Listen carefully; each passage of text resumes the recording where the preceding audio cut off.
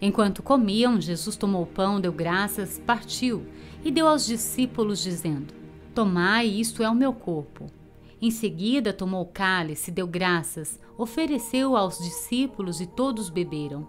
E disse-lhes: Isso é o meu sangue da aliança, que é derramado em favor de muitos. Eu afirmo que não beberei outra vez do fruto da videira, até aquele dia em que beberei o vinho novo no reino de Deus.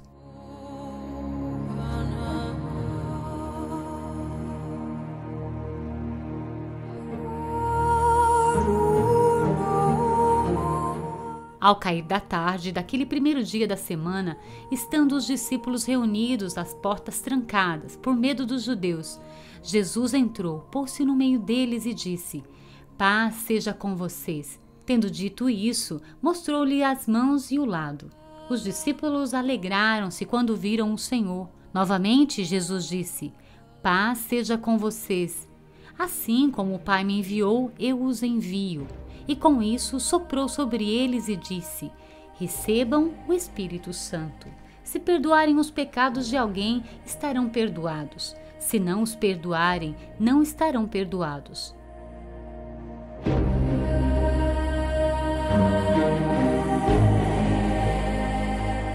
Chegando o dia de Pentecostes, estavam todos reunidos num só lugar. De repente veio do céu um som como de um vento muito forte e encheu toda a casa na qual estavam assentados. E viram o que parecia línguas de fogo, que se separaram e pousaram sobre cada um deles. Todos ficaram cheios do Espírito Santo e começaram a falar noutras línguas, conforme o Espírito os capacitava.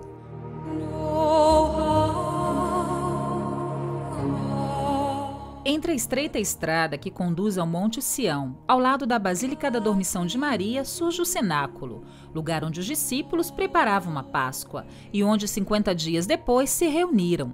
Ainda aqui neste mesmo lugar se celebra a memória da vinda do Espírito Santo.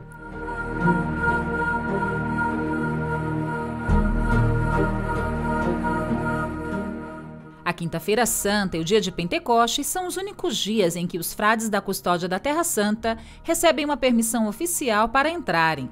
Neste lugar onde a história é complicada, mas a tradição é muito antiga.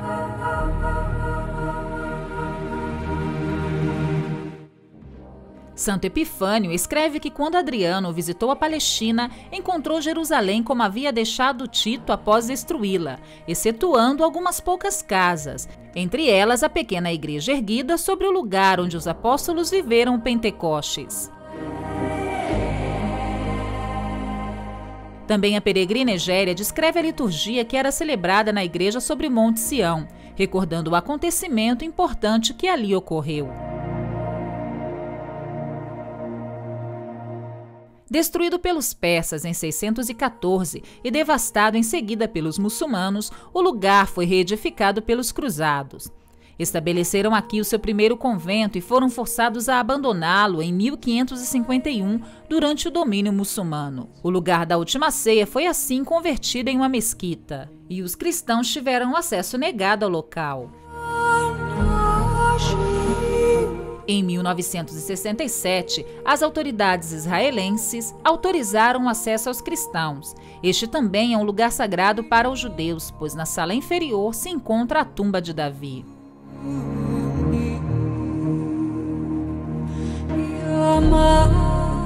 O cenáculo acolhe todos os dias muitos peregrinos vindos de todo o mundo, assim como também cristãos locais, muitas línguas e uma forte expressão de fé, onde todos de algum modo se entendem. Na penumbra desta sala, podemos nos aconchegar e fazer memória do dom do Espírito Santo, esta chama viva. Quanto amor, quanto bem. Quanto amor, quanto bem a partir daqui do cenáculo. Quanta caridade saiu daqui. Daqui parte a igreja, animada pelo sopro vital do Espírito Santo. Dal soffio vitale dello Spirito.